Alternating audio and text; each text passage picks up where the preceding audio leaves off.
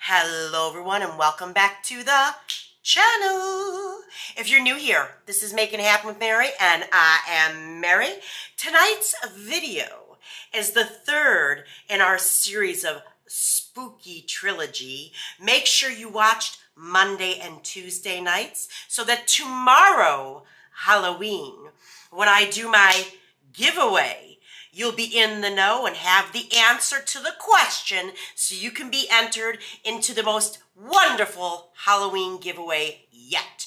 So, tonight's video, oh, but wait, before I get too much further, tonight's spooky look is of course by me.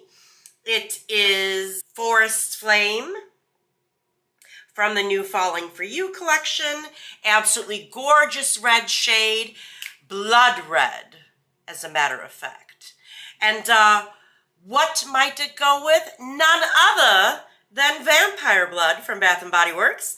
And uh, yeah, I prefer the OG version of Vampire Blood. Has scent notes of red berries, night blooming jasmine, and petrifying plum.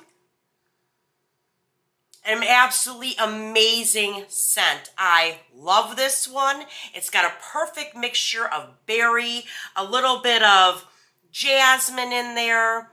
And they say plum, but I don't get a lot of plum. But enough about that. I suspect you're here for the spooky stories.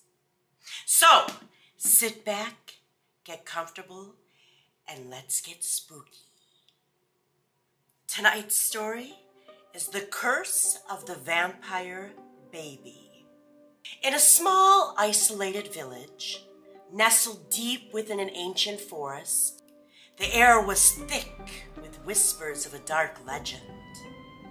The townspeople spoke of a cursed child, a vampire baby. She was named Aylin, born on the night of a blood moon. It was said that she brought doom to all who crossed her path.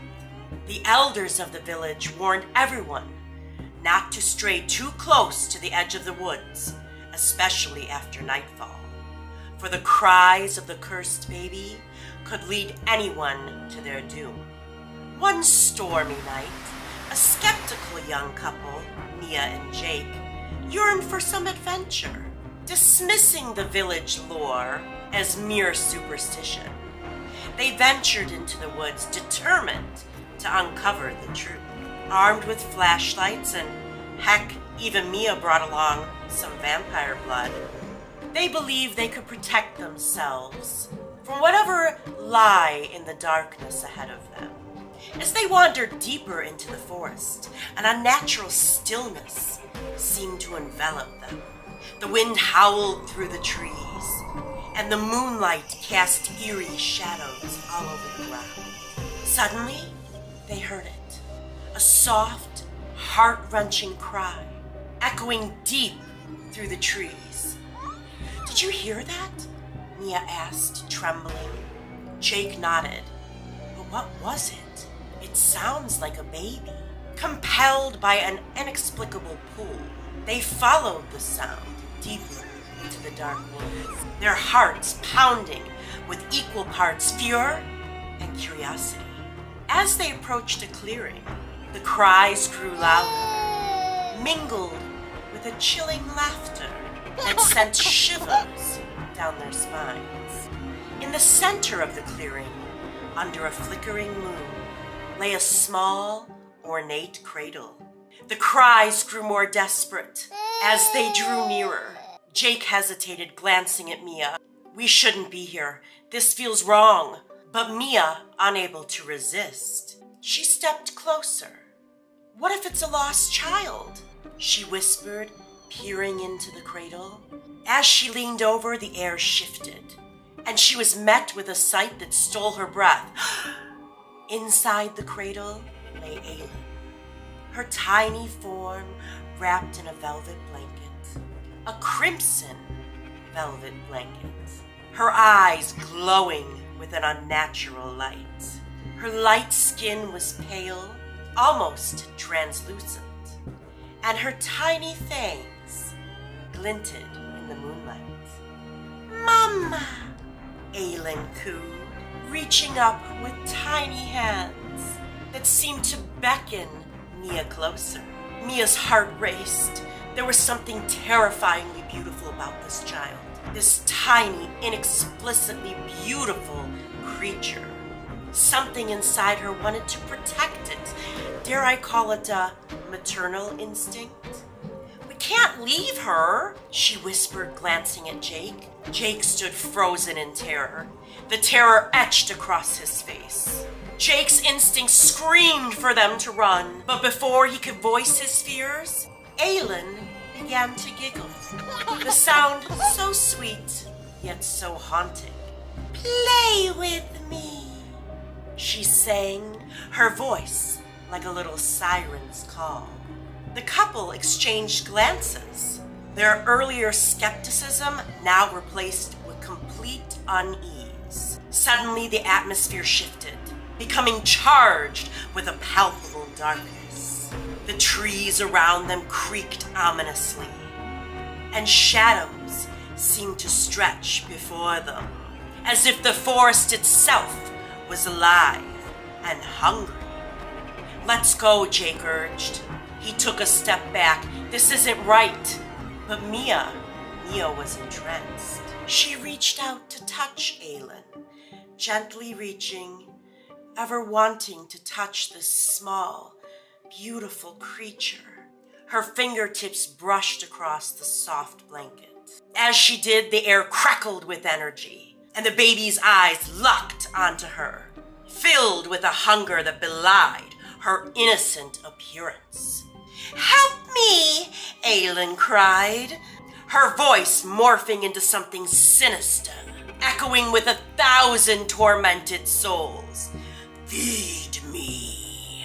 Jake grabbed Mia's arm, pulling her away as the shadows began to swirl, encasing them in complete darkness. Run, he shouted, and they turned quickly and sprinted back the way they had come, the cries of the vampire baby echoing behind them. As they fled, the forest seemed to shift and warp around them. The trees closed in. The path ahead twisted and turned into some type of a macabre maze. Panic surged through them as they stumbled, tripping over roots and tree branches, desperately trying to escape the clutches of the forest. A chilling laughter filled the air, wrapping around them like a shroud.